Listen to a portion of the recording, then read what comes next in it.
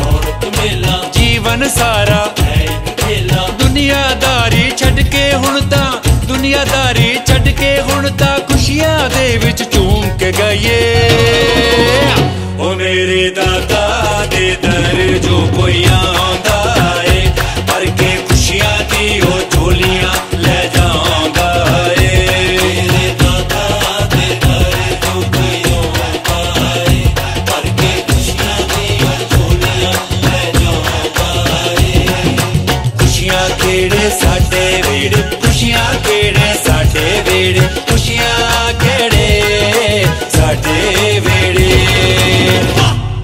ਸਤਿ ਸ਼੍ਰੀ ਅਕਾਲ ਜੀ ਆਇਆਂ ਨੂੰ। ਖੁਸ਼ੀਆਂ ਖੇੜੇ ਸਾਡੇ ਵੇੜੇ ਇੱਕ ਵਾਰੀ ਫਿਰ ਲੈ ਕੇ ਆਈਆਂ ਤੁਹਾਡੇ ਸਾਰਿਆਂ ਲਈ।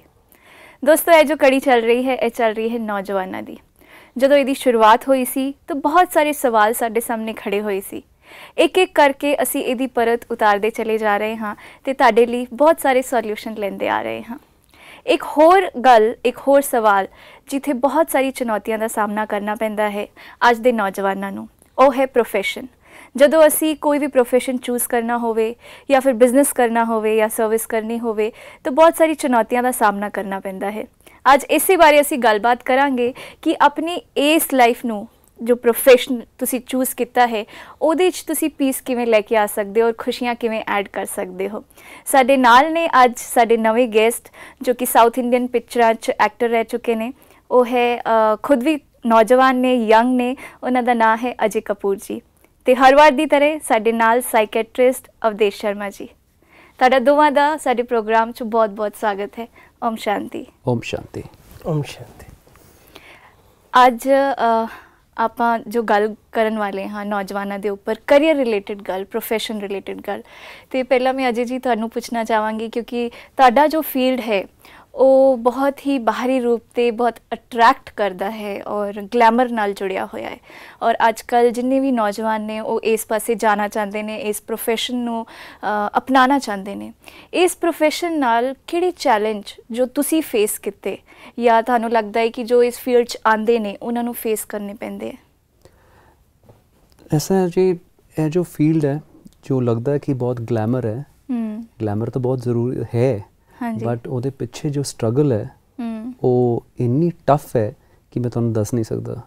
ਅੱਜ ਤਕਰੀਬਨ ਇੱਕ ਦਿਨ ਚ ਬੰਬੇ ਵਿੱਚ ਜੋ ਮੈਂ ਸੁਣਾ ਹੈ ਹੂੰ। 2000 ਲੋਕ ਇਸ ਇੰਡਸਟਰੀ ਚ ਪ੍ਰਵੇਸ਼ ਕਰਨ ਵਾਸਤੇ ਕੋਸ਼ਿਸ਼ ਕਰਦੇ ਆ। ਹਾਂਜੀ। ਔਰ ਸਾਊਥ ਵਿੱਚ ਮੈਂ ਕੰਮ ਕਰ ਰਿਹਾ। ਹੂੰ। ਤੇ ਸਾਊਥ ਵਿੱਚ ਵੀ ਅੱਜਕੱਲ ਐਵਰੇਜ ਹਜ਼ਾਰ ਲੋਕ ਹੂੰ। ਇਸ ਪ੍ਰੋਫੈਸ਼ਨ ਵਿੱਚ ਪਰ ਡੇ ਰੋਜ਼। ਰੋਜ਼ ਕੋਈ ਨਾ ਕੋਈ ਆਡੀਸ਼ਨਸ ਚੱਲ ਰਹੇ ਹੂੰ। ਕੋਈ ਨਾ ਕੋਈ ਆਡੀਸ਼ਨਸ ਦੇ ਬਾਅਦ ਅ, ਜੋ ਨੈਕਸਟ ਰਿਹਰਸਲਸ ਹੈ ਉਹਦੇ ਬਾਰੇ ਚ ਹਮ। ਕੰਮ ਚੱਲ ਰਿਹਾ ਹੈ ਬਿਲਕੁਲ ਕੁਝ ਨਾ ਕੁਝ ਕੰਮ ਚੱਲ ਰਿਹਾ ਇਹਦੇ ਬਾਰੇ ਚ ਜੀ ਬਟ ਉਹਦੇ ਵਿੱਚ ਹਜ਼ਾਰ ਲੋਕਾਂ ਵਿੱਚ ਸਿਲੈਕਟ ਹੁੰਦੇ ਆ 10 ਲੋਕ ਜੀ ਤਾਂ ਤੁਸੀਂ ਦੇਖੋ ਪ੍ਰੋਪੋਰਸ਼ਨ ਕੀ ਹੋ ਗਿਆ ਕਿ ਹਮ। ਆਊਟ ਆਫ 1000 10 ਲੋਕ 10% 10% 10% ਵੀ ਨਹੀਂ 1% 1% ਹਮ। 1% ਹੂੰ तो वो 1% चांसेस कितना टफ आजकल जी। वो चीज़ हो गई है हम्म। कि मैं ਤੁਹਾਨੂੰ ਦੱਸ ਵੀ ਨਹੀਂ ਸਕਦਾ ਹਾਂਜੀ ਉਸ ਤੋਂ ਬਾਅਦ ਹੂੰ ਆ ਗਏ ਅੰਦਰ।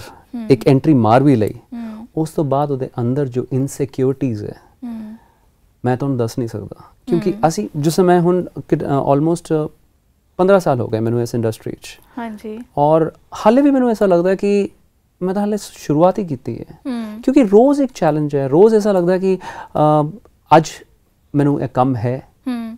ਕੱਲ ਹੋਏਗਾ ਹਾਂ ਬਿਕਾਜ਼ ਕੰਪੀਟੀਸ਼ਨ ਬਹੁਤ Competition ਜ਼ਿਆਦਾ ਬਹੁਤ ਜ਼ਿਆਦਾ ਹੈ, ਹਰ। ਇੱਕ ਫੀਲਡ 'ਚ ਕੰਪੀਟੀਸ਼ਨ ਹੈ ਨਾਟ ਓਨਲੀ ਮਾਈ ਇਹ ਪ੍ਰੋਫੈਸ਼ਨ ਵਿੱਚ ਹਰ। ਪ੍ਰੋਫੈਸ਼ਨ ਵਿੱਚ ਅੱਜ ਤੁਸੀਂ ਬਿਜ਼ਨਸ ਵੀ ਕਰਨ ਜਾਂਦੇ ਹੋ ਤੁਹਾਨੂੰ ਬਿਜ਼ਨਸ ਵਿੱਚ ਅੱਜ ਇੰਨੀ ਚੁਣੌਤੀਆਂ ਹੋ ਗਈਆਂ।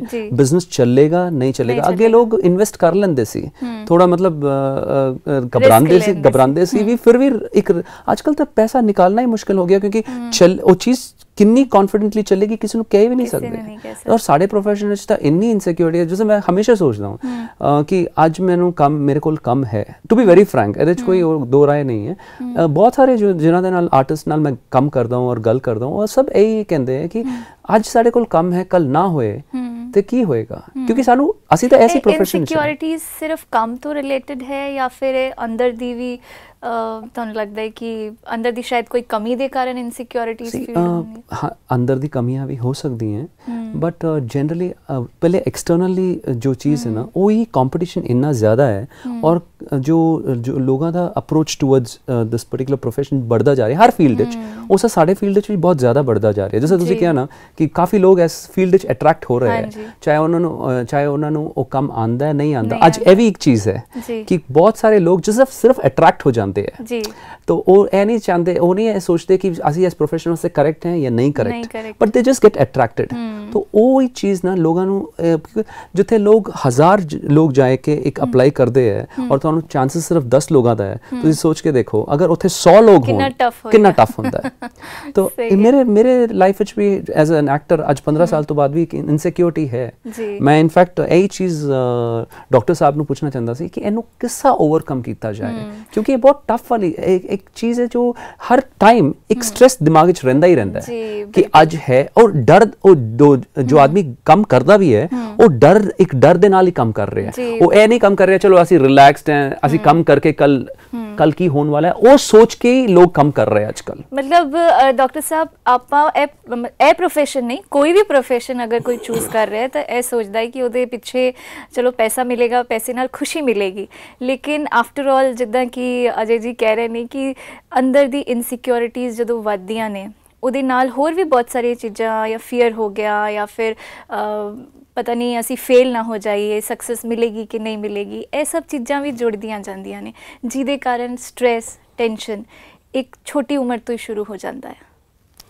ਤੁਸੀਂ ਜਿਹੜੀ ਇਨਸਿਕਿਉਰਿਟੀ ਦੀ ਗੱਲ ਕੀਤੀ ਇਨਸਿਕਿਉਰਿਟੀ ਵਰਡ ਨੂੰ ਜੇ ਅਸੀਂ ਦੋ ਚ ਡਿਵਾਈਡ ਕਰ ਦਈਏ ਜੇ ਮੈਂ ਇਨ ਸਿਕਿਉਰ ਹਾਂ ਤੇ ਮੈਨੂੰ ਬਾਹਰ ਇਨਸਿਕਿਉਰਿਟੀ ਨਹੀਂ ਹੋ ਸਕਦੀ। ਬਹੁਤ ਡੀਪ ਮੀਨਿੰਗ ਹੈ ਇਹਦਾ। ਬਹੁਤ ਐਕਚੁਅਲੀ ਜੇ ਮੈਂ ਅੰਦਰੋਂ ਪੂਰੀ ਤਰ੍ਹਾਂ ਨਾਲ ਆਪਣੇ ਆਪ ਨੂੰ ਸક્ષਮ ਸਮਝਦਾ ਤੇ ਬਾਹਰੋਂ ਮੈਨੂੰ ਉਹ ਚੈਲੰਜਸ ਆਣਗੇ ਲੇਕਿਨ ਮੈਂ ਉਹਨਾਂ ਨੂੰ ਪੂਰਾ ਕਰਨ ਲਈ ਪੂਰੀ ਤਰ੍ਹਾਂ ਨਾਲ ਜੇ ਸક્ષਮ ਮਹਿਸੂਸ ਕਰਦਾ ਤੇ ਜੋ ਵੀ ਹੋ ਰਿਹਾ ਹੈਗਾ ਮੈਂ ਉਹਨੂੰ ਓਵਰਕਮ ਕਰ ਲਾਂਗਾ। ਜੀ। ਐਕਚੁਅਲੀ ਇਨਸਿਕਿਉਰਿਟੀ ਕਿਸੇ ਖਾਸ ਏਜ ਤੇ ਨਹੀਂ ਆਉਂਦੀ। ਜੀ। ਇਨਸਿਕਿਉਰਿਟੀ ਸ਼ੁਰੂ ਹੁੰਦੀ ਹੈ ਬਚਪਨ 'ਚ। ਜੇ ਬਚਪਨ 'ਚ ਤੁਹਾਡੇ ਪੇਰੈਂਟਸ ਨੇ ਜਾਂ ਆਸ-ਪਾਸ ਦੇ ਲੋਕਾਂ ਨੇ ਤੁਹਾਨੂੰ ਹਮੇਸ਼ਾ ਇੱਕ ਪੋਜ਼ਿਟਿਵ ਫੀਡਬੈਕ ਦਿੱਤੀ। ਹਮ ਔਰ ਤੁਹਾਡੇ ਨਾਲ ਇਹ ਨਹੀਂ ਗੱਲ ਹੋਈ ਕਿ ਜੀ ਦੂਜਾ ਤੇਰੇ ਤੋਂ ਅੱਛਾ ਹੈਗਾ ਤੇਰਾ ਭਰਾ ਭੈਣ ਜਿਹੜੀ ਹੈਗੀ ਉਹ ਦੇਖੋ ਕਿੱਥੇ ਨੇ। ਤੇ ਉਹ ਜਿਹੜੀ ਜ਼ੱਦੋ ਜ਼ਹਿਦ ਅਸੀਂ ਬਚਪਨ 'ਚ ਹੀ ਕਰਦੇ ਰਹਿੰਦੇ ਆ ਔਰ ਅੱਜਕੱਲ ਬੱਚਿਆਂ ਨੂੰ ਵਧਾਉਂਦੇ ਜਾ ਰਹੇ ਆ ਉਹ ਘੱਟ ਹੋਣੀ ਸ਼ੁਰੂ ਹੋ ਜਾਂਦੀ ਹੈ। ਜੀ। ਤੇ ਜੋ ਤੁਹਾਡੀਆਂ ਆਪਸ 'ਚ ਟੈਨਸ਼ਨਸ ਨੇ ਉਹ ਘੱਟ ਹੋਣੀਆਂ ਸ਼ੁਰੂ ਹੋ ਜਾਣਗੀਆਂ। ਜਿਵੇਂ ਜਿਵੇਂ ਫਿਰ ਤੁਸੀਂ ਥੋੜੇ ਵੱਡੇ ਹੁੰਨੇ ਹੋ ਆਸ-ਪਾਸ ਚਾਹੇ ਜਿੰਨਾ ਵੀ ਕੰਪੀਟੀਸ਼ਨ ਹੋਏ ਕੰਪੀਟੀਸ਼ਨ ਅੱਜਕੱਲ ਅਸੀਂ ਸਿਰਫ ਕੈਰੀਅਰਸ ਦੇਖਦੇ ਹਾਂ। ਲੇਕਿਨ ਜੇ ਅਸੀਂ ਕਲਾਸਾਂ ਵਿੱਚ ਦੇਖੀਏ ਜਿਹੜਾ ਬੱਚਾ ਇੱਕ ਕਲਾਸ 'ਚ ਹਜ਼ਾਰ ਬੱਚਿਆਂ 'ਚੋਂ ਫਸਟ ਆਣਾ ਹੈ ਉਹਨੇ ਜੀ। ਤਾਂ ਫਸਟ ਆਏਗਾ ਤੇ ਫਿਰ ਉਹਨੇ ਆਈਟੀ 'ਚ ਜਾਣਾ ਹੈ। ਜੀ। ਤੇ ਆਈਟੀ 'ਚ ਸਾਰੇ ਦੇ ਸਾਰੇ ਸਕੂਲਾਂ ਦੇ ਫਸਟ ਫਸਟ ਬੱਚੇ ਆਏ ਹੋਏ। ਨੇ। ਤੇ ਉਹਨਾਂ 'ਚੋਂ ਜੋ ਉਹਨੇ ਫਸਟ ਹੋਣਾ ਹੈ ਔਰ ਫਿਰ ਫਸਟ ਹੋ ਕੇ ਉਹਨੇ ਕਿਸੇ ਜਗ੍ਹਾ ਤੇ ਕਰਨਾ ਤਾਂ। ਉਹਦੀ ਤੇ ਇਨਸਿਕਿਉਰਿਟੀ ਬਹੁਤ ਹੋ ਸਕਦੀ ਨਾ। ਜੀ। ਅਨਫੋਰਚੂਨੇਟਲੀ ਜ਼ਿਆਦਾਤਰ ਲੋਕ ਇਨ ਗੇਮ ਦੇ ਵਿੱਚ ਹੀ ਫਸ ਜਾਂਦੇ ਨੇ। ਹਮ ਪਹਿਲਾ ਪ੍ਰਿੰਸੀਪਲ ਇਹ ਹੈਗਾ ਕਿ ਮੈਂ ਸਮਝ ਲਵਾਂ ਕਿ ਮੈਂ ਕਿਸ ਚੀਜ਼ 'ਚ ਅੱਛਾ। ਹਮ ਹਮ ਜੇ ਮੈਂ ਉਸ ਚੀਜ਼ 'ਚ ਅੱਛਾ ਹਾਂ ਤਾਂ ਮੈਂ ਆਪਣਾ ਬੈਸਟ ਕੀ ਦੇ ਸਕਦਾ? ਜੀ। ਔਰ ਜੇ ਮੈਂ ਆਪਣਾ ਬੈਸਟ ਦੇ ਰਿਹਾ ਤਾਂ ਬਾਹਰ ਵਾਲੀ ਸਿਚੁਏਸ਼ਨਸ ਜੇ ਖਰਾਬ ਹੋਈਆਂ ਵੀ ਤੇ ਅੱਜ ਨਹੀਂ ਤਾਂ ਕੱਲ ਕੋਈ ਮੈਨੂੰ ਰਿਕਗਨਾਈਜ਼ ਜ਼ਰੂਰ ਕਰੇਗਾ। ਹਮ ਹਮ ਅੱਛਾ ਮੰਨ ਲਓ ਕਿਸੇ ਨੇ ਨਹੀਂ ਵੀ ਰਿਕਗਨਾਈਜ਼ ਕੀਤਾ। ਤਾਂ ਵੀ ਮੈਨੂੰ ਪਤਾ ਹੈ ਕਿ ਮੈਂ ਠੀਕ ਹਾਂ। ਜੀ। ਮੈਨੂੰ ਪਤਾ ਮੈਂ ਆਪਣਾ ਕੰਮ ਅੱਛਾ ਡਿਲੀਵਰ ਕੀਤਾ। ਜੇ ਮੈਂ ਬਾਹਰ ਦੇ ਰਿਵਾਰਡਸ ਦੇ ਉੱਤੇ ਡਿਪੈਂਡੈਂਟ ਨਹੀਂ ਆ ਤਾਂ ਮੈਨੂੰ ਜਿਹੜੇ ਇੰਟਰਨਲ ਰਿਵਾਰਡਸ ਮਿਲ ਰਹੇ ਨੇ ਉਹ ਮੇਰੇ ਲਈ ਕਾਫੀ ਹੋਣਗੇ। ਦੇਖੋ ਪੈਸਾ ਕਮਾਉਣ ਦੀ ਜਿਹੜੀ ਗੱਲ ਹੈ ਪੈਸਾ ਇੱਕ ਜਿਹਦਾ ਜ਼ਰੂਰਤ ਲਈ ਹੁੰਦਾ। ਔਰ ਪੈਸਾ ਇੱਕ ਇੰਨਾ ਹੋਏ ਕਿ ਉਹ ਮੈਨੂੰ ਮਹਿਸੂਸ ਕਰਾਏ ਕਿ ਹਾਂ ਆਮ ਗੁੱਡ ਇਨਫ ਉਹ ਜਿਹੜਾ ਦੂਜਾ ਵਾਲਾ ਉਹ ਕਦੀ ਪੂਰਾ ਨਹੀਂ ਹੋ ਸਕਦਾ। ਜੀ। ਉਹਦੇ ਲਈ ਹਮੇਸ਼ਾ ਮੇਰੇ ਤੋਂ ਜ਼ਿਆਦਾ ਅੱਗੇ ਕੋਈ ਹੋਏਗਾ ਹੀ। ਕੋਈ ਨਾ ਕੋਈ ਮੇਰੇ ਤੋਂ ਜ਼ਿਆਦਾ ਪੈਸਾ ਕਮਾਏਗਾ ਕੋਈ ਨਾ ਕੋਈ ਅੱਜ ਟੌਪ ਤੇ ਹੋਏਗਾ। ਜੀ। ਅਜੇ ਜੀ ਦਾ ਜਿਹੜਾ ਪ੍ਰੋਫੈਸ਼ਨ ਹੈਗਾ ਮੈਂ ਸਮਝ ਸਕਦਾ ਕਿ ਕਿਸੇ ਦੀ ਇੱਕ ਪਿਕਚਰ ਜਾਂ ਇੱਕ ਸੀਰੀਅਲ ਬਹੁਤ ਉੱਚੇ ਆਇਆ ਸਭ ਜਗ੍ਹਾ ਤੇ ਤੁਹਾਡਾ ਨਾਂ ਹੋ ਗਿਆ। ਜੀ। ਪਰ ਦੂਜੇ ਵੀ ਲੋਕ ਨੇ ਜਿਹੜਾ ਨੇ ਕਿ ਉਹ ਸੀਰੀਅਲ ਕੀਤਾ ਹੈਗਾ। Maybe they are not the top competition ਵੀ ਆਂਦਾ ਹੈ ਨਾ ਜਿਵੇਂ ਜਿੰਨਾ ਇਹਨਾਂ ਦੇ ਫੀਲਡ 'ਚ ਹੀ ਨਹੀਂ ਬਲਕਿ ਹਰ ਇੱਕ ਫੀਲਡ 'ਚ ਅੱਜਕੱਲ ਕੰਪੀਟੀਸ਼ਨ ਬਹੁਤ ਜ਼ਿਆਦਾ ਵੱਧਦਾ ਚਲਾ ਜਾ ਰਿਹਾ। ਹੈ ਹਰ ਕੋਈ ਅਬ ਬੈਸਟ ਤੋਂ ਬੈਸਟ ਪਰਫਾਰਮ ਕਰ ਰਿਹਾ ਹੈ। ਉੱਥੇ ਆਪਾਂ ਨੂੰ ਥੋੜਾ ਜਿਹਾ ਅੰਦਰ ਫੀਅਰ ਰਹਿੰਦਾ ਹੈ ਕਿ ਪਤਾ ਨਹੀਂ ਮੈਂ ਅੱਛਾ ਪਰਫਾਰਮ ਕਰ ਪਾਵਾਂਗਾ ਕਿ ਨਹੀਂ ਫੇਲ ਤਾਂ ਨਹੀਂ ਹੋ ਜਾਵਾਂਗਾ। ਇਹ ਛੋਟੇ-ਮੋਟੇ ਮੈਨੂੰ ਲੱਗਦਾ ਹੈ ਕਿ ਡਰ ਜੋ ਹੈ ਉਹ ਫਿਰ ਵੱਡੇ ਬਣ ਮੈਂ ਜਾਂਦੇ। ਉਹੀ ਪਰਫਾਰਮ ਕਰ ਸਕਦਾ ਜਿੰਨੀ ਮੇਰੀ ਸ਼ਮਤਾ ਹੈ। ਹੂੰ। ਮੈਂ ਦੂਜੇ ਦੇ ਕੰਪੀਟੀਸ਼ਨ 'ਚ ਉਸ ਤੋਂ ਅੱਛਾ ਨਹੀਂ ਪਰਫਾਰਮ ਕਰ ਸਕਦਾ। ਮੈਂ ਆਪਣੇ ਆਪ ਨੂੰ ਬੈਸਟ ਕਰ ਸਕਦਾ। ਔਰ ਵੈਸੇ ਜਿਹੜੇ ਲੋਕ ਆਪਣੇ ਆਪ ਤੋਂ ਰੇਸ ਲਗਾਉਂਦੇ ਨੇ ਉਹ ਦੂਜਿਆਂ ਤੋਂ ਅੱਗੇ ਨਿਕਲ ਜਾਂਦੇ ਨੇ। ਜੇ ਮੇਰਾ ਕੰਪੀਟੀਸ਼ਨ ਅੱਜ ਇੱਕ ਨਾਲ ਹੈਗਾ ਮੈਂ ਉੱਥੇ ਤੱਕ ਪਹੁੰਚ ਗਿਆ ਹੁਣ ਦੂਜੇ ਨਾਲ ਸ਼ੁਰੂ ਹੋ ਗਿਆ ਫਿਰ ਮੈਂ ਤਾਂ ਉੱਥੇ ਤੱਕ ਉਹ ਪਹੁੰਚਾ। ਤਾਂ ਐਂਡਲੈਸ ਹੈ। ਉਹ ਉਹਦਾ ਕੋਈ। ਸਹੀ ਗੱਲ ਹੈ, ਬਿਲਕੁਲ ਉਹਦੀ ਸਹੀ। ਕੋਈ ਐਂਡ ਨਹੀਂ। ਇੱਕ ਬਹੁਤ ਆਸਾਨ ਤਰੀਕਾ ਮੇਰੇ ਖਿਆਲ ਨਾਲ ਇਨਸਿਕਿਉਰਿਟੀ ਨੂੰ ਪਾਰ ਕਰਨ ਦਾ ਇਹ ਹੈਗਾ ਕਿ ਮੈਂ ਰੋਜ਼ ਚੈੱਕ ਇਹ ਕਰਾਂ ਕਿ ਜੋ ਜੋ ਮੈਂ ਕਰ ਸਕਦਾ ਸੀਗਾ ਮੈਂ ਆਪਣੀ ਵੱਲੋਂ ਠੀਕ ਕੀਤਾ ਕਿ ਨਹੀਂ ਕੀਤਾ। ਹੂੰ ਹੂੰ। ਮੈਂ ਜੇ ਉਸ ਚ ਕੌਨਫੀਡੈਂਟ ਹਾਂ ਕਿ ਮੈਂ ਠੀਕ ਕੀਤਾ। ਤਾਂ ਮੈਂ ਦੂਜੀ ਚੀਜ਼ ਦੇਖਾਂ ਕਿ ਕੋਈ ਹੋਰ ਬੰਦਾ ਜਿਹੜਾ ਆਇਆ ਹੋਇਆ ਹੈਗਾ ਉਹਨੇ ਕਿਹੜੀ ਇਹ ਜਿਹੀ ਚੀਜ਼ ਕੀਤੀ ਕਿ ਜਿਹੜੀ ਮੈਨੂੰ ਲੱਗਦਾ ਹੈ ਕਿ ਮੇਰੇ ਤੋਂ ਬੈਟਰ ਸੀ? ਹੂੰ। ਉਹਨੂੰ ਅਪਣਾ ਲਓ। ਜੀ। ਉਸ ਤੋਂ ਇਨਸਿਕਿਉਰ ਹੁੰਨੇ ਹੋ ਤੇ ਤੁਸੀਂ ਉਹਨੂੰ ਹਟਾਉਣ ਦੀ ਕੋਸ਼ਿਸ਼ ਕਰਦੇ ਹੋ। ਹੂੰ ਹੂੰ ਹੂੰ। ਉਹਨੂੰ ਥੱਲੇ ਦੱਬਣ ਦੀ ਕੋਸ਼ਿਸ਼ ਕਰਦੇ ਹੋ। ਇਹ ਭੁੱਲ ਜਾਂਦੇ ਨੇ ਕਿ ਕੀ ਚੀਜ਼ ਉਹਦੀ ਹੈਗੀ ਜਿਹੜੀ ਕਿ ਲੋਕਾਂ ਨੂੰ ਪਸੰਦ ਹੈ ਜਾਂ ਮੈਨੂੰ ਅੱਛੀ ਲੱਗ ਰਹੀ ਹੈ। ਉਹਨੂੰ ਆਪਣੇ ਉੱਚ ਤੇ ਲਿਆ ਸਕਦੇ ਹੋ।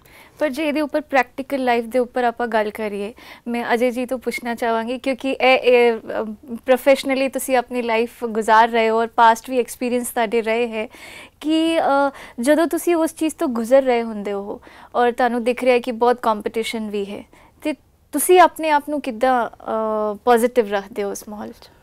ਉਹੀ ਆ ਐਕਚੁਅਲੀ ਉਹੀ ਮੈਂ ਡਾਕਟਰ ਸਾਹਿਬ ਨੂੰ ਇੱਕ ਹੋਰ ਕੁਐਸਚਨ ਪੁੱਛਣਾ ਚਾਹੁੰਦਾ ਕਿ ਕਿ ਜਿਵੇਂ ਤੁਸੀਂ ਕਹਿ ਰਹੇ ਹੋ ਕਿ ਅੰਦਰੋਂ ਅਸੀਂ ਸਟਰੋਂਗ ਹੋ ਜਾएं ਔਰ ਜਿੰਨਾ ਦੂਸਰਿਆਂ ਨਾਲ ਕੰਪੀਟੀਸ਼ਨ ਨਾ ਕਰਕੇ ਆਪਣੇ ਵੱਲ ਇੰਪਰੋਵਾਈਜ਼ ਕਰਨ ਦੀ ਕੋਸ਼ਿਸ਼ ਕरें ਬਟ ਕੀ ਹੁੰਦਾ ਹੈ ਕਈ ਵਾਰੀ ਐਸੀ ਸਿਚੁਏਸ਼ਨਸ ਆ ਜਾਂਦੀਆਂ ਜਦੋਂ ਅ, ਕੰਮ ਨਹੀਂ ਹੁੰਦਾ। ਸਾਡੇ ਪ੍ਰੋਫੈਸ਼ਨ ਵਿੱਚ ਐਸਾ ਵੀ ਹੁੰਦਾ ਹੈ। ਹੂੰ ਹਰ ਪ੍ਰੋਫੈਸ਼ਨ 'ਚ ਹਾਂ। ਹੁੰਦਾ ਹੈ। ਕਿ ਨੌਕਰੀਆਂ ਨਹੀਂ ਹੁੰਦੀਆਂ। ਨੌਕਰੀਆਂ ਨਹੀਂ ਹੁੰਦੀ ਔਰ ਐਸੇ ਐਸੇ ਸਿਚੁਏਸ਼ਨ ਵਿੱਚ ਆਦਮੀ ਕੀ ਕਰੇ? ਇੰਪਰੋਵਾਈਜ਼ ਕਰ ਸਕਦਾ ਹੈ ਬੈਸਟ ਟੂ ਬੈਸਟ ਵੀ ਦੇ ਸਕਦਾ ਹੈ। ਔਰ ਕੋਸ਼ਿਸ਼ ਵੀ ਕਰਦਾ ਹੈ ਕਿ ਆਪਾਂ ਦੂਸਰਿਆਂ ਦੇ ਕੰਪੀਟੀਸ਼ਨ ਨਾ ਵੀ ਕਰਕੇ ਆਪਣੇ ਆਪਣੇ ਨੂੰ ਇੰਪਰੂਵ ਕਰਨ ਦੀ ਕੋਸ਼ਿਸ਼ ਵੀ ਕरें ਬਟ ਕੰਮ ਹੀ ਨਾ ਮਿਲੇ। ਐਸਾ ਸਿਚੁਏਸ਼ਨ ਆ ਮਤਲਬ ਜਾਏ। ਸਿਚੁਏਸ਼ਨ ਬਾਹਰੀ ਤੌਰ ਤੇ ਹੀ ਇਹੋ ਜੀ ਹੋ। ਗਈ ਹੈ ਕਿ ਜੋ ਤੁਹਾਡੇ ਹੱਥ 'ਚ ਨਹੀਂ ਹੈ। ਬਿਲਕੁਲ। ਹੁਣ ਕੁਝ ਚੀਜ਼ਾਂ ਤੁਹਾਡੇ ਹੱਥ 'ਚ ਹੈ ਜਿਵੇਂ ਅੰਦਰ ਦੀ ਫੀਲਿੰਗਸ ਹੈ ਇਨਸਿਕਿਉਰਿਟੀਜ਼ ਉਹਨੂੰ ਤੁਸੀਂ ਠੀਕ ਕਰ ਰਹੇ ਹੋ। ਲੇਕਿਨ ਹੁਣ ਬਾਹਰੀ ਤੌਰ ਤੇ ਹੀ ਅਗਰ ਤੁਹਾਨੂੰ ਸਿਚੁਏਸ਼ਨ ਐਵੇਂ ਦੀ ਮਿਲ ਰਹੀ ਹੈ ਤੁਸੀਂ ਉਹਨੂੰ ਕਿਵੇਂ ਟੈਕਲ ਕਰੋਗੇ? ਕੋਈ ਬਹੁਤ ਅੱਛਾ ਪ੍ਰੋਜੈਕਟ ਮਿਲਦਾ ਹੈ ਨਾ ਹਾਂਜੀ। ਤਾਂ ਅਸੀਂ ਬਾਕੀ ਸਾਰੀ ਚੀਜ਼ੋਂ ਤੋਂ ਆਪਣਾ ਧਿਆਨ ਹਟਾ ਲੈਂਦੇ ਹਾਂ ਔਰ ਆਪਣੇ ਆਪ ਨੂੰ ਇੰਪਰੂਵ ਕਰਨ ਦੀ ਕੋਸ਼ਿਸ਼ ਕਰਦੇ ਹਾਂ। ਜਦੋਂ ਕੰਮ ਨਾ ਹੋਵੇ ਤੇ ਉਹਨੂੰ ਭਗਵਾਨ ਦੀ ਗਿਫਟ ਸਮਝੀਏ ਕਿ ਮੈਨੂੰ ਹੁਣ ਆਪਣੇ ਉੱਤੇ ਕੰਮ ਕਰਨ ਦਾ ਮੌਕਾ ਮਿਲ ਗਿਆ। ਹੂੰ ਹੂੰ ਜਦੋਂ ਬਹੁਤ ਕੰਮ ਹੋਏਗਾ ਤਦ ਤੱਕ ਟਾਈਮ ਹੀ ਨਹੀਂ ਮਿਲੇਗਾ। ਉਸ ਵਿੱਚ ਕਈ ਲੋਕ ਨਵੀਂ ਨਵੀਂ ਸਕਿੱਲਸ ਸਿੱਖ ਲੈਂਦੇ ਨੇ ਜਿਹਦੀ ਮਾਰਕੀਟ ਨੂੰ ਜ਼ਰੂਰਤ ਹੈਗੀ। ਮੰਨ ਲਓ ਤੁਸੀਂ ਡਾਂਸ ਅੱਛਾ ਕਰਨਾ ਚਾਹੁੰਦੇ ਹੋ ਔਰ ਟਾਈਮ ਨਹੀਂ ਮਿਲ ਰਿਹਾ ਹੁਣ 2 ਮਹੀਨੇ ਮਿਲ ਗਏ ਕਿ ਹੋਰ ਕੁਝ ਨਹੀਂ ਕਰਨਾ ਹੈਗਾ ਤੇ ਡਾਂਸ ਸਿੱਖ ਸਕਦੇ ਹਾਂ। ਬਾਡੀ ਬਿਲਡਿੰਗ ਕਰ ਸਕਦੇ ਹਾਂ। ਨਵੀਂ ਲੈਂਗੁਏਜ ਸਿੱਖ ਸਕਦੇ ਹਾਂ। ਉਸ ਤਰ੍ਹਾਂ ਚ ਜਾ ਕੇ ਪ੍ਰੋਡਿਊਸਰਸ ਨੇ ਸਿਰਫ ਤੁਹਾਡੀ ਫੀਲਡ ਦੀ ਗੱਲ ਕਰੀਏ ਪ੍ਰੋਡਿਊਸਰਸ ਨਾਲ ਜਾ ਕੇ ਮਿਲ ਸਕਦੇ ਹਾਂ। ਜੋ ਕਿ ਜਦੋਂ ਕੰਮ ਹੋਏਗਾ ਤੇ ਸਾਡੇ ਕੋਲ ਟਾਈਮ ਨਹੀਂ ਹੋਏਗਾ। ਹੂੰ। ਆਮ ਤੌਰ ਤੇ ਪਹਿਲਾ ਰਿਐਕਸ਼ਨ ਹੁੰਦਾ ਹੈ ਕਿ ਮੇਰੇ ਨਾਲ ਇਹ ਹੋ ਕਿਉਂ ਮੈਂ ਗਿਆ? ਔਰ ਬੰਦਾ ਉਸੇ ਵਿੱਚ ਪਰੇਸ਼ਾਨ ਹੋਣਾ ਸ਼ੁਰੂ ਹੋ ਜਾਂਦਾ ਹੈ। ਡਿਪਰੈਸਡ ਹੋ ਜਾਂਦਾ ਹੈ। ਡਿਪਰੈਸਡ ਹੋ ਜਾਂਦਾ ਹੈ ਵਿਡਰਾਅ ਕਰ ਜਾਂਦਾ ਹੈਗਾ। ਆਪਣੇ ਉੱਤੇ ਜਿਹੜਾ ਆਤਮ ਵਿਸ਼ਵਾਸ ਹੈਗਾ ਉਹ ਖੋ ਦਿੰਦਾ ਹੈਗਾ। ਬਿਲਕੁਲ। ਤੇ ਉਹਨੂੰ ਲੱਗਦਾ ਹੈ ਕਿ ਜਿਹੜੀ ਮੇਰੀ ਵੈਲਿਊ ਸੀਗੀ ਉਹ ਹੁਣ ਵੈਲਿਊ ਹੈ ਨਹੀਂ। ਤੇ ਉਹਨਾਂ ਨੂੰ ਬਾਹਰ ਉਹਨਾਂ ਤੋਂ ਬਾਹਰ ਨਿਕਲਣ ਚ ਨਹੀਂ ਬੰਦੇ ਨੂੰ ਬਹੁਤ ਟਾਈਮ ਲੱਗ ਜਾਂਦਾ ਵੇਰਸ ਜੇ ਆਪਣੇ ਆਪ ਨੂੰ ਬੰਦਾ ਚੈੱਕ ਕਰਦਾ ਰਿਹਾ ਹੈ ਕਿ ਮੈਂ ਜਿਹੜਾ ਹਾਂ ਮੈਂ ਪੂਰਾ ਡਿਲੀਵਰ ਕੀਤਾ ਹੁਣ ਕੋਈ ਕਾਰਨ ਹੈਗੇ ਕਿ ਥੋੜੇ ਦਿਨ ਲਈ ਕੁਝ ਨਹੀਂ ਹੋ ਰਿਹਾ ਉਸ ਟਾਈਮ ਨੂੰ ਮੈਂ ਯੂਜ਼ ਕਰ ਲਵਾਂ ਕੰਟੈਕਟਸ ਨੂੰ ਮੈਂ ਯੂਜ਼ ਕਰ ਲਵਾਂ ਨਵੀਂ ਕੋਈ ਸਕਿੱਲ ਸਿੱਖ ਲਾਂ ਜਾਂ ਹੋ ਸਕਦਾ ਕਿ ਇੱਕ ਮਾਰਕੀਟ 'ਚ ਇਹ ਜਿਹਾ ਟ੍ਰੈਂਡ ਆਇਆ ਹੋਏ ਜੋ ਮੈਨੂੰ ਪਸੰਦ ਨਹੀਂ ਹੈਗਾ ਮੈਂ ਨਹੀਂ ਕਰਨਾ ਚਾਹੁੰਦਾ ਤਾਂ ਬੰਦਾ ਦੂਜੇ ਤਰੀਕੇ ਸੋਚ ਸਕਦਾ ਜ਼ਿੰਦਗੀ ਜੀਣ ਦੇ। ਆਮ ਤੌਰ ਤੇ ਜ਼ਿਆਦਾਤਰ ਪ੍ਰੋਫੈਸ਼ਨਸ ਵਿੱਚ ਜੇ ਅਸੀਂ ਧਿਆਨ ਨਾਲ ਚੱਲਦੇ ਹਾਂ ਤੇ ਇਹ ਵੀ ਧਿਆਨ ਰੱਖਣਾ ਪੈਂਦਾ ਹੈ ਕਿ ਕਦੀ ਕਦੀ ਇਹ ਜਿਹਾ ਸਮਾਂ ਆਏਗਾ ਜਦੋਂ ਚੀਜ਼ਾਂ ਠੀਕ ਨਹੀਂ ਹੋਣਗੀਆਂ। ਸਹੀ ਗੱਲ ਹੈ। ਕੰਮ ਅੱਛਾ ਨਹੀਂ ਵੀ ਚੱਲ ਸਕਦਾ। ਇਹ। ਬਿਜ਼ਨਸ 'ਚ ਵੀ ਹੁੰਦਾ ਹੈ ਨੌਕਰੀ 'ਚ ਵੀ। ਹੁੰਦਾ। ਹੈ ਉਸ ਵਕਤ 'ਚ ਥੋੜੀ ਜਿਹੀਆਂ ਤੇ ਆਪਣੀ ਸਿਕਿਉਰਿਟੀਜ਼ ਨੂੰ ਬਣਾ ਕੇ ਚੱਲੇ ਬੰਦਾ। ਚਾਹੇ ਪੈਸੇ ਦੀ ਹੈ ਚਾਹੇ ਰਿਸ਼ਤਿਆਂ ਦੀ ਹੈ। ਇਹਦੇ ਉੱਪਰ ਮੈਂ ਇੱਕ ਆਰਟੀਕਲ ਹੁਣੇ ਹੀ, ਪੜ੍ਹਿਆ ਸੀ। ਇੱਕ ਬਹੁਤ ਫੇਮਸ ਵੈਬਸਾਈਟ ਹੈ। ਉਹਦੇ ਓਨਰ ਨੇ ਕਿਹਾ ਸੀ ਕਿ ਜੋ ਤੁਸੀਂ ਸਵੇਰੇ 9 ਵਜੇ ਤੋਂ ਲੈ ਕੇ 6 ਵਜੇ ਤੱਕ ਕਰ ਰਹੇ ਹੋ ਉਹ ਇੰਨਾ ਇੰਪੋਰਟੈਂਟ ਨਹੀਂ ਹੈ। ਲੇਕਿਨ 6 ਵਜੇ ਤੋਂ ਲੈ ਕੇ ਸਵੇਰੇ 6 ਵਜੇ ਤੱਕ ਤੁਸੀਂ ਕੀ ਕਰਦੇ ਹੋ? ਉਹਦੇ ਨਾਲ ਤੁਹਾਡੀ ਲਾਈਫ ਬਣਦੀ ਹੈ ਮਤਲਬ ਤੁਸੀਂ. ਐਕਸਟਰਾ ਕਰਿਕੂਲਮ ਜੋ ਹੈ ਤੁਹਾਡੀ ਜੋ ਤੁਹਾਡੇ ਇੰਟਰਸਟ ਦੀਆਂ ਚੀਜ਼ਾਂ ਹੈ ਉਹਨੂੰ ਆਪਣੀ ਲਾਈਫ 'ਚ ਕਿੰਨਾ ਲੈ ਕੇ ਆ ਰਹੇ ਹੋ ਉਹਦੇ ਨਾਲ ਤੁਹਾਡੀ ਲਾਈਫ ਜ਼ਿਆਦਾ ਅੱਛੀ ਬਣਦੀ ਹੈ। ਜੇ ਉਹ ਇਹਨਾਂ ਨੇ ਕਿਹਾ ਕਿ ਇੱਕ ਸਕਿੱਲ ਹੋਣੀ ਚਾਹੀਦੀ ਹੈ। ਇਹੋ ਜੀ ਜੋ ਤੁਸੀਂ ਲਰਨ ਕਰੋ ਔਰ ਇਹੋ ਜੀ ਸਿਚੁਏਸ਼ਨ 'ਚ ਤੁਹਾਨੂੰ ਕੰਮ ਆਏਗੀ। ਵੈਸੇ ਵੀ ਨਾ ਇੱਕ ਹੋਰ ਗੱਲ ਹੈ ਕਿ ਸਾਡੀ ਲਰਨਿੰਗ ਨਾ ਜਦੋਂ ਅਸੀਂ ਕਿਸੇ ਜਗ੍ਹਾ ਤੇ ਪਹੁੰਚ ਜਾਂਦੇ ਹਾਂ ਤਾਂ ਅਸੀਂ ਬੰਦ ਕਰ ਦਿੰਦੇ ਹੂੰ ਇਹ ਸਮਝ ਕੇ ਕਿ ਚਲੋ ਹੁਣ ਅਸੀਂ ਇਹ ਜੌਬ ਮਿਲ ਗਈ ਜਾਂ ਇਹ. ਕੰਮ ਮਿਲ ਗਿਆ ਤੇ ਇਸ ਤੋਂ ਬਾਅਦ ਠੀਕ ਹੈ ਜ਼ਿੰਦਗੀ ਨਿਸ਼ਚਿੰਤ ਚੱਲਦੀ ਜਾਂਦੇ। ਪਰ ਉਹ ਨਿਸ਼ਚਿੰਤ ਜੇ ਉਸ ਹੱਦ ਤੱਕ ਹੋ ਜਾਈਏ ਕਿ ਅਸੀਂ ਗਰੋ ਕਰਨਾ ਬੰਦ ਕਰ ਦਈਏ ਤਾਂ ਦੂਜੇ ਜਿਹੜੇ ਲੋਕ ਭੁੱਖ ਨਾਲ ਆਏ ਨੇ ਉਹ ਪੂਰੀ ਤਰ੍ਹਾਂ ਨਾਲ ਅੱਗੇ ਜਾਣਾ ਚਾਹੁੰਦੇ ਨੇ ਤਾਂ ਆਬਵੀਅਸਲੀ ਉਹ ਨਿਕਲ ਜਾਣਗੇ। ਪਰ ਜੇ ਅਸੀਂ ਇਹ ਦੇਖ ਕੇ ਕਿ ਦੂਜੇ ਲੋਕ ਜੋ ਜੋ ਕਰ ਰਹੇ ਨੇ ਉਹਨਾਂ ਤੋਂ ਮੈਂ ਸਿੱਖਾਂ ਸਿੱਖ ਕੇ ਆਪਣੇ ਅੰਦਰ ਪਾਵਾਂ ਔਰ ਉਹ ਕਰਕੇ ਉਹਨਾਂ ਨੂੰ ਰੋਜ਼ ਯੂਜ਼ ਕਰਾਂ ਔਰ ਸਿਰਫ ਇਹ ਸੋਚ ਕੇ ਕਿ ਮੈਂ ਇੰਨਾ ਹੀ ਕਰ ਸਕਦਾ। ਹੂੰ। ਮੈਂ ਜਿੰਨੀ ਵੀ ਕੋਸ਼ਿਸ਼ ਕਰਾਂ ਬਾਕੀ ਬਾਹਰ ਦੇ ਫੈਕਟਰਸ ਨੂੰ ਚੇਂਜ ਨਹੀਂ ਕਰ ਸਕਦਾ। ਹੂੰ। ਲੇਕਿਨ ਜੇ ਮੈਂ ਆਪਣੇ ਅੰਦਰ ਸક્ષਮ ਹਾਂ ਤੇ ਉਸ ਸਮੇਂ ਤੇ ਮੈਂ ਡਿੱਗਾਂਗਾ ਨਹੀਂ ਮੈਂ ਫਿਰ ਖੜਾ ਹੋ ਕੇ ਭੱਜਣਾ ਸ਼ੁਰੂ ਕਰ ਸਕਦਾ। ਜ਼ਿਆਦਾਤਰ ਲੋਕ ਜਾਂ ਡਿੱਗ ਜਾਂਦੇ ਨੇ ਜਾਂ ਸ਼ਰਾਬਾਂ 'ਚ ਜਾਂ ਦੂਜੀ ਚੀਜ਼ਾਂ 'ਚ ਚਲੇ ਜਾਂਦੇ ਨੇ। ਕਨਫਿਊਜ਼ ਹੋ। ਜਾਂਦੇ ਨੇ ਸਮਝ ਨਹੀਂ ਆਉਂਦਾ ਕੀ ਕਰਨਾ ਹੈਗਾ। ਔਰ ਉਸ ਵਕਤ ਉਹਨਾਂ ਨੂੰ ਕਿਸੇ ਹੋਰ ਨਾਲ ਕੀ ਗੱਲ ਕਰਨੀ ਹੈ। ਕਿਹਦੀ ਮਦਦ ਲੈਣੀ ਹੈ ਵੀ ਭੁੱਲ ਜਾਂਦਾ ਹੈ। ਪਰ ਇਹੋ ਜੀ ਇਹੋ ਜੀ ਸਿਚੁਏਸ਼ਨ 'ਚ ਆਪਣੇ ਅੰਦਰ ਦੀ ਸਟੇਬਿਲਿਟੀ ਕਿਵੇਂ ਬਣਾ ਕੇ ਰੱਖੀਏ? ਬਿਲਕੁਲ। ਬਿਕੋਜ਼ ਬਹੁਤ ਸਾਰੇ ਸਵਾਲ ਹੁੰਦੇ ਘਰ ਦਾ ਵੀ ਪ੍ਰੈਸ਼ਰ ਹੁੰਦਾ ਹੈ ਫੈਮਿਲੀ ਦੀ ਰਿਸਪੌਂਸਿਬਿਲਿਟੀਆਂ ਹੁੰਦੀਆਂ ਔਰ ਤੁਹਾਨੂੰ ਸਮਝ ਨਹੀਂ ਆ ਰਿਹਾ ਹੁੰਦਾ ਕਿ ਹੁਣ ਡਿਸੀਜਨ ਕੀ ਲੈਣਾ ਹੈ। ਤੇ ਅੰਦਰ ਕਿਵੇਂ ਸਟੇਬਲ ਰਹੀਏ? ਮੈਂ ਇੱਕ ਹੋਰ ਚੀਜ਼ ਆਪਣਾ ਐਕਸਪੀਰੀਅੰਸ ਸ਼ੇਅਰ ਕਰਨਾ ਚਾਹੁੰਦਾ। ਜਿਸ ਤਰ੍ਹਾਂ ਤੁਸੀਂ ਕਿਹਾ ਨਾ ਕਿ ਆਪਣੇ ਸਕਿੱਲ ਨੂੰ बढ़ाਉਣ ਵਾਸਤੇ ਜਾਂ ਦੂਸਰਾ ਕੋਈ ਐਸੀ ਚੀਜ਼ ਸ਼ੁਰੂ ਕਰਨਾ ਪੈਰਲਲੀ ਤਾਂ ਕਿ ਅਗਰ ਇੱਕ ਚੀਜ਼ ਨਹੀਂ ਵੀ ਚੱਲ ਰਹੀ ਤੇ ਦੂਸਰੀ ਸੰਭਲ ਜਾਏ। ਤੇ ਮੇਰੇ ਨਾਲ ਕੀ ਹੋਇਆ ਸੀ ਕਿ 2010 9 ਤੱਕ ਮੈਂ ਬਹੁਤ ਬਿਜ਼ੀ ਸੀ। 2001 ਤੋਂ ਲੈ ਕੇ 2009 ਦ- 2010 ਤੱਕ ਕਾਫੀ ਬਿਜ਼ੀ ਰਿਹਾ। ਉਸ ਤੋਂ ਬਾਅਦ ਇੱਕ ਖੁਦ ਮੈਂ ਡਿਸੀਜਨ ਲਿੱਤਾ ਕਿ ਚਲੋ ਮੈਂ ਇਹ ਤਾਂ ਕਰ ਹੀ ਰਿਹਾ ਐਕਟਿੰਗ ਤਾਂ ਕਰ ਹੀ ਰਿਹਾ। ਦੂਸਰਾ ਇੱਕ ਚੀਜ਼ ਵੀ ਰੈਡੀ ਕਰਾਂ ਤਾਂ ਕਿ ਅੱਗੇ ਦੀ ਮੇਰੀ ਲਾਈਫ ਵੀ ਥੋੜੀ ਹੋਰ ਸਿਕਿਉਰ ਹੋ ਜਾਏ। ਤੇ ਉਹਦੇ ਵਾਸਤੇ ਮੈਂ ਨਾ ਪ੍ਰੋਡਕਸ਼ਨ ਵਿੱਚ ਐਂਟਰ ਕੀਤਾ। ਤੇ ਮੈਂ ਇੱਕ ਫਿਲਮ ਵੀ ਪ੍ਰੋਡਿਊਸ ਕਰਨੀ ਸ਼ੁਰੂ ਕੀਤੀ। ਨੌਲੇਜ ਲਿੱਤੀ। ਪਹਿਲੇ ਕਾਫੀ ਇੱਕ ਸਾਲ ਉਹਦੇ ਵਾਸਤੇ ਕਾਫੀ ਯੂ نو ਐਕਸਪੈਰੀਮੈਂਟਸ ਕੀਤੇ ਕਿ ਐਸਾ ਛੋਟਾ ਜਿਹਾ ਪ੍ਰੋਜੈਕਟ ਲੈ ਕੇ ਸ਼ੁਰੂ ਕਰਕੇ ਕਾਫੀ ਚੀਜ਼ਾਂ ਕੀਤੀਆਂ ਬਟ ਮੈਨੂੰ ਟਾਈਮ ਲੱਗ ਗਿਆ ਪਿਕਚਰ ਬਣਾਉਣ ਵਿੱਚ ਥੋੜਾ ਫਾਈਨੈਂਸ਼ੀਅਲ ਪ੍ਰੋਬਲਮ ਸੀ ਔਰ ਦੂਸਰੀ ਚੀਜ਼ਾਂ ਸੀ। ਬਣ ਗਈ। ਹੁਣ ਇੱਕ ਐਸਾ ਟੌਪ ਚੀਜ਼ ਸੀ ਕਿ ਮੇਰੀ ਫਿਲਮ ਬਣ ਗਈ ਬਟ ਚੱਲੀ ਨਹੀਂ। ਤੇ ਜਦੋਂ ਨਹੀਂ ਚੱਲੀ ਤੇ ਮੈਂ ਐਸੇ ਡਿਪਰੈਸ਼ਨ ਵਿੱਚ ਚਲਾ ਗਿਆ ਕਿ 2010 ਜੋ ਮੇਰਾ ਇੱਕ ਫੇਸ ਸੀ ਜਦੋਂ ਮੈਂ at a high point of my life ਵਿੱਚ ਸੀ ਔਰ 2014 ਆਲਮੋਸਟ 4 ਇਅਰਸ ਤੇ ਕੀ ਹੋਇਆ ਕਿ ਆਲ ਆਫ ਅ ਸਡਨ ਐਸਾ ਡਿਪਰੈਸ਼ਨ ਆਇਆ ਮੇਰੀ ਲਾਈਫ ਵਿੱਚ ਕਿ ਮੈਨੂੰ 2 ਮਹੀਨੇ ਤੱਕ ਸਮਝ ਹੀ ਨਹੀਂ ਆਈ ਕਿ ਮੈਂ ਕਰਾਂ? ਕੀ ਹਾਲਾਂਕਿ ਮੇਰੇ ਇੰਟੈਂਸ਼ਨ ਵੀ ਬਿਲਕੁਲ ਸਹੀ ਸੀ ਐ ਨਹੀਂ ਸੀ ਕਿ ਕੋਈ ਗਲਤ ਇੰਟੈਂਸ਼ਨ ਸੀ ਉਹਦੇ ਵਿੱਚ ਬਟ ਜਦੋਂ ਨਹੀਂ ਚੱਲੀ ਤੇ ਆਦਮੀ ਉਸ ਟਾਈਮ ਬਿਲਕੁਲ ਹੀ ਕਨਫਿਊਜ਼ ਮੈਂ ਐਸੇ ਐਸੇ ਇੱਕ ਦੌਰ ਵਿੱਚ ਸੀ ਕਿ ਮੈਨੂੰ ਕੋਈ ਆ ਕੇ ਕੁਝ ਕਹਿੰਦਾ ਵੀ ਸੀ ਨਾ ਤੇ ਮੈਨੂੰ ਸਮਝ ਨਹੀਂ ਆਉਂਦੀ ਸੀ। ਨਾਲੇ ਉਸ ਟਾਈਮ ਤੇ ਥੋੜਾ ਜਿਹਾ ਤੁਹਾਡੇ ਅੰਦਰ ਦਾ ਗੁੱਸਾ ਥੋੜਾ ਜਿਹਾ ਬਹੁਤ। ਚਿੜਚਿੜਾਪਨ ਫਰਸਟ੍ਰੇਸ਼ਨ ਇਹ ਵਧਣੀ ਸ਼ੁਰੂ ਹੋ ਜਾਂਦੀ ਹੈ ਜੋ ਕਿ ਇਸ ਏਜ 'ਚ ਆਪਾਂ ਸਮਝਦੇ ਹਾਂ ਕਿ ਉਹ ਆਮ ਹੈ ਨੌਜਵਾਨਾਂ ਨੂੰ ਤਾਂ ਵੈਸੇ ਹੀ ਗੁੱਸਾ ਚੜਿਆ ਹੀ ਰਹਿੰਦਾ ਹੈ। ਤੇ ਉਸ ਚੀਜ਼ ਨੂੰ ਕਿਵੇਂ ਟੈਕਲ ਕਰਨਾ ਚਾਹੀਦਾ? Nothing lasts forever and this too shall pass ਕੋਈ ਵੀ ਫੇਜ਼ ਇਹਨਾਂ ਨੇ 2009 ਦਾ ਕਿਹਾ ਆਪਣੀ ਪੀਕ ਦਾ ਜਾਂ 14 ਦਾ ਕਿਹਾ ਉਹ ਹਮੇਸ਼ਾ ਨਹੀਂ ਰਹਿਣਾ। ਪਰਮਨੈਂਟ ਨਹੀਂ ਹੈ। ਕੁਝ ਵੀ ਪਰਮਾਨੈਂਟ ਨਹੀਂ ਹੈ ਜ਼ਿੰਦਗੀ 'ਚ ਲੇਕਿਨ ਉਸ ਫੇਜ਼ਸ ਦੇ ਵਿੱਚ ਜੋ ਦੂਜੇ ਫੇਜ਼ ਆਉਣ ਵਾਲੇ ਨੇ ਕਦੋਂ ਆਣਗੇ ਕੋਈ ਨਹੀਂ ਪ੍ਰੈਡਿਕਟ ਕਰ ਸਕਦਾ ਲੇਕਿਨ ਆਣਗੇ ਜ਼ਰੂਰ। ਕਿਉਂਕਿ ਪਹਿਲਾਂ ਵੀ ਨਹੀਂ ਰਿਹਾ ਬਟ ਡਾਕਟਰ ਉਹ ਜੋ ਫੇਸ ਹੈ ਨਾ ਉਹ ਇੰਨਾ ਮੁਸ਼ਕਿਲ ਫੇਸ ਹੁੰਦਾ ਕਿ ਨਿਕਲਣਾ ਬੜਾ ਮੁਸ਼ਕਿਲ ਹੁੰਦਾ ਹੈ। ਕਿਉਂਕਿ ਅਸੀਂ ਆਮ ਤੌਰ ਤੇ ਸਿਰਫ ਜ਼ਿੰਦਗੀ 'ਚ ਪੀਕਸ ਦੇਖਦੇ ਹੂੰ। ਜਿਹੜੀ ਪੀਕਸ ਨਾ ਹੋਣ ਵਾਲੇ ਪੀਰੀਅਡਸ ਨੇ ਉਸ ਦੌਰਾਨ 'ਚ ਅਸੀਂ ਕਿਵੇਂ ਜ਼ਿੰਦਗੀ 'ਚ ਚੱਲਣਾ ਹੈਗਾ ਉਹ ਨਹੀਂ ਅਸੀਂ ਦੇਖ ਪਾਉਂਦੇ। ਹੂੰ। ਦੇਖੋ ਕਿਸੇ ਜਗ੍ਹਾ ਤੇ ਜੇ ਬਰਫ਼ ਉਗਦੀ ਹੈ ਤੇ ਉੱਥੇ ਜਿਹੜੇ ਬੂਟੇ ਹੁੰਦੇ ਨੇ ਨਾ ਉਹ ਬਰਫ਼ ਦੇ ਟਾਈਮ ਦੇ ਉੱਤੇ ਬਿਲਕੁਲ ਢੱਕ ਜਾਂਦੇ ਨੇ। ਲੱਗਦਾ ਮਰ ਗਏ ਨੇ। ਹੂੰ। ਲੇਕਿਨ ਜਦੋਂ ਸਹੀ ਟਾਈਮ ਆਂਦਾ ਹੈਗਾ ਹੂੰ। ਗਰਮੀ ਆਂਦੀ ਹੈ ਬਰਫ਼ ਪਿਘਲ ਜਾਂਦੀ ਹੈ ਬੂਟੇ ਵਾਪਸ ਆ ਜਾਂਦੇ ਨੇ। ਬਹੁਤ ਬਹੁਤ ਬੜੀਆ ਬਹੁਤ ਬੜੀਆ ਅਸੀਂ ਲੌਂਗ ਟਰਮ ਪਰਸਪੈਕਟਿਵ ਨੂੰ ਕਈ ਵਾਰ ਦੇਖ ਨਹੀਂ ਪਾਉਂਦੇ।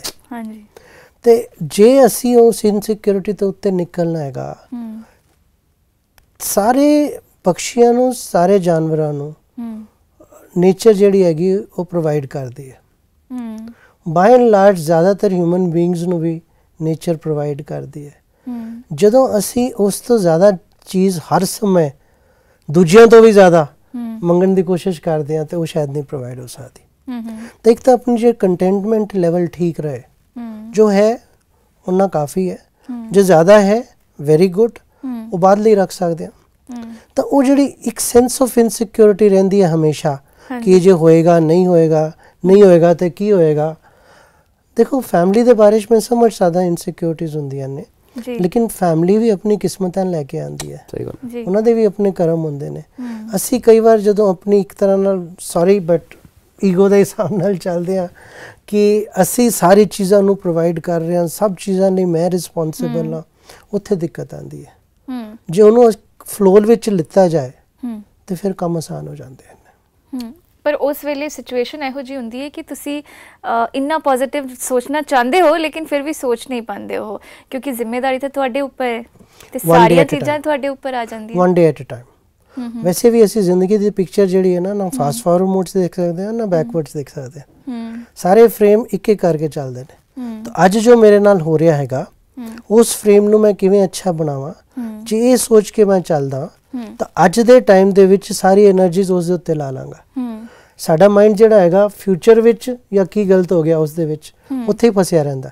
ਜੀ। ਤੇ ਉਹਦੀ ਵਜ੍ਹਾ ਨਾਲ ਅੱਜ ਜੋ ਮੌਕੇ ਵੀ ਮਿਲਦੇ ਨੇ ਉਹ ਮੌਕੇ ਮੈਂ ਮਿਸ ਕਰ ਜਾਣਾ ਬਿਲਕੁਲ ਸਹੀ। ਤੁਸੀਂ ਜੋ ਕਿਹਾ ਨਾ ਬਿਲਕੁਲ ਸਹੀ। 2 ਮਹੀਨੇ ਮੈਨੂੰ ਮੈਂ ਉਹਦੇ ਚ ਹੀ ਫਸਾ ਰਿਹਾ ਕਿ ਮੇਰੀ ਪਿਕਚਰ ਦਾ ਕੀ ਹੋਇਆ ਮੇਰੇ ਪਿਕਚਰ ਦਾ ਕੀ ਹੋਇਆ ਉਸ ਥਾਟ 'ਚ ਹੀ ਮੇਰੀ 2 ਮਹੀਨੇ ਨਿਕਲ ਗਏ ਉਹ ਮਾਈਂਡ ਬਲੌਕ ਹੋ ਜਾਂਦਾ Mind block ਨਾ ਹੋ ਗਿਆ ਸੀ, ਬਿਲਕੁਲ ਹੋ ਇਹਨਾਂ ਨੇ। ਜਿਹੜੀ ਗੱਲ ਕਹੀ ਉਸ ਪੀਰੀਅਡ ਦੀ ਬੜੇ ਪ੍ਰੈਕਟੀਕਲ ਤਰੀਕੇ ਨੇ ਜਦੋਂ ਲੱਗੇ ਕਿ ਮੇਰਾ ਮੂਡ ਪਹਿਲਾਂ ਤਾਂ ਚੈੱਕ ਕਰਨ ਦੀ ਜ਼ਰੂਰਤ ਹੁੰਦੀ ਹੈ ਕਿ ਮੇਰਾ ਮੂਡ ਜਿਹੜਾ ਹੈਗਾ ਥੋੜਾ ਲੋ ਹੈਗਾ ਔਰ ਜੇ ਇੱਕ ਦਿਨ ਦੋ ਦਿਨ ਚਾਰ ਦਿਨ ਤੋਂ ਜ਼ਿਆਦਾ ਚੱਲ ਰਿਹਾ ਹੈਗਾ ਤਾਂ ਪਹਿਲੀ ਗੱਲ ਤੇ ਬਹੁਤ ਜ਼ਿਆਦਾ ਲੋਕਾਂ ਨਾਲ ਡਿਸਕਸ ਕਰਨਾ ਘੱਟ ਕਰ ਦਿਓ ਹਮ, ਕਿਉਂਕਿ ਜਿੰਨੇ ਲੋਕਾਂ ਨੂੰ ਪੁੱਛੋਗੇ ਜੋ ਬਹੁਤ ਅੱਛੇ ਵੀ ਹੋਣਗੇ ਉਨੇ ਔਰ ਸਲਾਹ। ਜ਼ਰੂਰੀ ਨਹੀਂ ਹੈ ਕਿ ਸਾਰੇ ਅੱਛੇ ਮਿਲਣ ਪਰ ਜੇ ਅੱਛੇ ਵੀ ਹੋਣਗੇ ਉਹ ਜਿੰਨੀਆਂ ਸਲਾਹ ਦੇਣਗੇ ਆਪਾਂ ਕੰਫਿਊਜ਼ ਹੋ ਜਾਵਾਂਗੇ।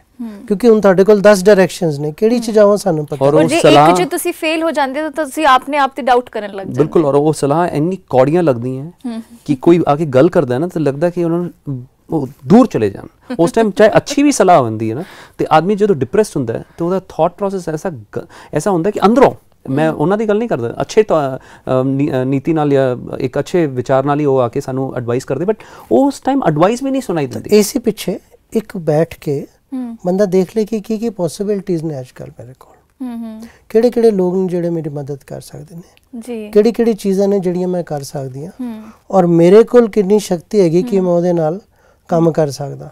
ਜਦੋਂ ਇਹ ਅਸੀਂ ਪਲਾਨ ਕਰਨਾ ਸ਼ੁਰੂ ਕਰ ਦਿੰਨੇ ਆ ਤਾਂ ਫਿਰ ਇੱਕ ਸੈਂਸ ਆਫ ਪਰਪਸ ਮਿਲ ਜਾਂਦਾ।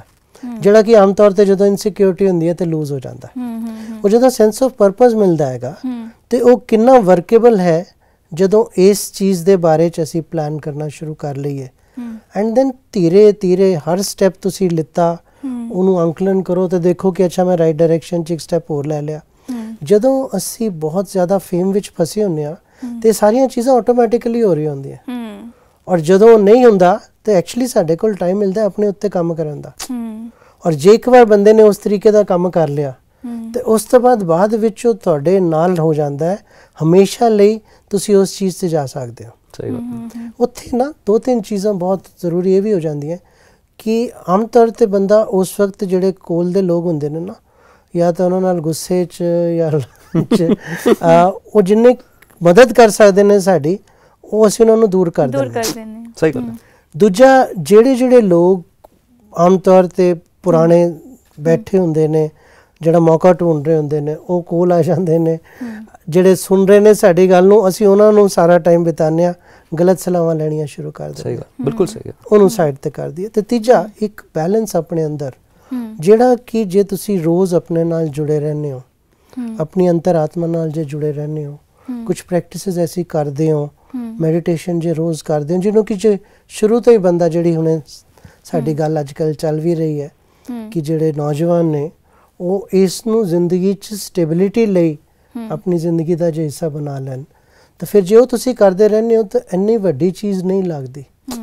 ਔਰ ਫਿਰ ਇੱਕ ਸਟੇਜ ਆਂਦੀ ਹੈ ਜਦੋਂ ਆਪਣੇ ਆਪ ਹੀ ਚੀਜ਼ਾਂ ਟਾਈਮ ਦੇ ਨਾਲ ਨਾਲ ਠੀਕ ਹੋਣੀਆਂ ਸ਼ੁਰੂ ਹੋ ਠੀਕ ਹੋਣੀਆਂ ਜਾਂਦੀਆਂ। ਸ਼ੁਰੂ ਹੋ ਜਾਂਦੀਆਂ। ਹੈ ਫੇਲਿਅਰ ਜੋ ਹੈ ਉਹ ਹੀ ਤੁਹਾਨੂੰ ਉੱਪਰ ਚੁੱਕਦਾ ਹੈ ਐਂਡ ਆਮ ਸ਼ੋਰ ਜਦੋਂ ਤੁਹਾਡੀ ਲਾਈਫ 'ਚ ਵੀ ਆਇਆ ਹੋਏਗਾ ਉਹ ਸਿਚੁਏਸ਼ਨ ਠੀਕ ਨਹੀਂ ਰਹੀ ਹੋਏਗੀ ਲੇਕਿਨ ਜਦੋਂ ਤੁਸੀਂ ਉਸ ਤੋਂ ਬਾਅਦ ਨਿਕਲੇ ਤਾਂ ਤੁਸੀਂ ਬਹੁਤ ਪੋਜ਼ਿਟਿਵ ਔਰ ਉਨੇ ਹੀ ਜ਼ਿਆਦਾ ਐਂਥੂਸੀਆਸਟਿਕ ਰਹੇ ਹੋਗੇ ਔਰ ਜਿਵੇਂ ਡਾਕਟਰ ਸਾਹਿਬ ਨੇ ਕਿਹਾ ਉਸ ਸਿਚੁਏਸ਼ਨ ਵਿੱਚ ਡੈਫੀਨਿਟਲੀ ਸਪਿਰਚੁਅਲਿਟੀ ਕੰਮ ਆਉਂਦੀ ਹੈ। ਕਿਉਂਕਿ ਮੈਂ ਵੀ ਫਿਰ ਉਸ ਟਾਈਮ ਵਿੱਚ ਉਹ 2 ਮਹੀਨੇ ਬਾਅਦ ਮੈਂ ਕੁਝ ਮੈਡੀਟੇਸ਼ਨ ਔਰ ਐਸੇ ਦੇ। ਕੋਰਸਸ ਸ਼ੁਰੂ ਕੀਤੇ। ਹੂੰ। ਤੇ ਥੋੜਾ ਜਿਹਾ ਸਟੈਪ ਬਾਈ ਸਟੈਪ ਦਿਨ ਬਰ ਦਿਨ Stable ਹੋਣਾ ਸ਼ੁਰੂ ਹੋਇਆ। ਇਹ ਜੋ ਤੁਹਾਡਾ ਐਕਸਪੀਰੀਅੰਸ ਹੈ ਜੋ ਆਧਿਆਤਮਿਕਤਾ ਨਾਲ ਜੁੜਿਆ ਹੋਇਆ ਹੈ ਤੁਸੀਂ ਕਿਵੇਂ ਆਪਣੇ ਇੱਕ ਬੁਰੇ ਫੇਸ ਤੋਂ ਬਾਹਰ ਨਿਕਲ ਕੇ ਆਏ ਹੋ? ਮੈਂ ਚਾਹਨੀ ਹਾਂ ਤੁਸੀਂ ਦਰਸ਼ਕਾਂ ਨਾਲ ਜਰੂਰ ਸ਼ੇਅਰ ਕਰੋ ਸਾਂਝਾ ਕਰੋ। ਲੇਕਿਨ ਅੱਜ ਡਾਕਟਰ ਸਾਹਿਬ ਸਾਡੇ ਕੋਲ ਸਮੇਂ ਦੀ ਘਾਟ ਹੈ ਤੇ ਅੱਜ ਅਸੀਂ ਪੂਰੀ ਗੱਲਬਾਤ ਜਿੰਨੀ ਵੀ ਕੀਤੀ ਉਹਦੇ ਲਈ ਤੁਹਾਡਾ ਦੋਵਾਂ ਦਾ ਬਹੁਤ-ਬਹੁਤ ਧੰਨਵਾਦ। ਓਮ ਓਮ ਸ਼ਾਂਤੀ। ਸ਼ਾਂਤੀ।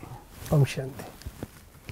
ਦੋਸਤੋ, ਕਿਵੇਂ ਜੀਵਨ 'ਚ ਜੋ ਵੀ ਪਲ ਆਉਂਦੇ ਨੇ ਸਾਡੇ, ਸਾਨੂੰ ਲੱਗਦਾ ਹੈ ਕਿ ਜਿਵੇਂ ਸਭ ਕੁਝ ਖਤਮ ਜਿਹਾ ਹੋ ਗਿਆ ਹੈ। ਲੇਕਿਨ ਉਹ ਜੋ ਸਿਚੁਏਸ਼ਨ ਆਂਦੀ ਹੈ, ਉਹ ਜੋ ਸਮੇਂ ਆਂਦੀ ਹੈ, ਉਹ ਕੁਝ ਨਾ ਕੁਝ ਸਿਖਾ ਕੇ ਜ਼ਰੂਰ ਜਾਂਦੀ ਹੈ। ਔਰ ਜਦੋਂ ਉਹ ਸਿਚੁਏਸ਼ਨ ਪਾਰ ਹੋ ਜਾਂਦੀ ਹੈ, ਤੇ ਇੱਕ ਨਵਾਂ ਫੇਸ ਇੱਕ ਨਵੀਂ ਜ਼ਿੰਦਗੀ ਸ਼ੁਰੂ ਹੁੰਦੀ ਹੈ। ਜਿਵੇਂ ਕਿ ਅੱਜ ਸਾਡੇ ਜੋ ਗੈਸਟ ਆਏ ਨੇ, ਅਜੇ ਕਪੂਰ ਜੀ, ਉਹਨਾਂ ਨੇ ਆਪਣਾ ਖੁਦ ਦਾ ਐਕਸਪੀਰੀਅੰਸ ਸਾਂਝਾ ਕੀਤਾ ਔਰ ਬਹੁਤ ਹੀ ਪੋਜ਼ਿਟਿਵ ਤਰੀਕੇ ਨਾਲ ਉਹਨਾਂ ਨੇ ਦੱਸਿਆ ਕਿ ਉਹ ਆਪਣੇ ਬੁਰੇ ਸਮੇਂ ਤੋਂ ਕਿਵੇਂ ਬਾਹਰ ਨਿਕਲ ਕੇ ਆਏ ਨੇ। ਇਸੇ ਕੜੀ ਨੂੰ ਅਗਲੀ ਵਾਰ ਫਿਰ ਲੈ ਕੇ ਆਵਾਂਗੇ। ਓਮ ਸ਼ਾਂਤੀ। ਆਪਣੇ ਸੁਝਾਅ ਦੇਣ ਤੇ ਵਧੇਰੇ ਜਾਣਕਾਰੀ ਲਈ ਤੁਸੀਂ ਸੰਪਰਕ ਕਰ ਸਕਦੇ ਹੋ Kaliwood studio Shantivan mobile number 8094913487 email punjabi.gws@gmail.com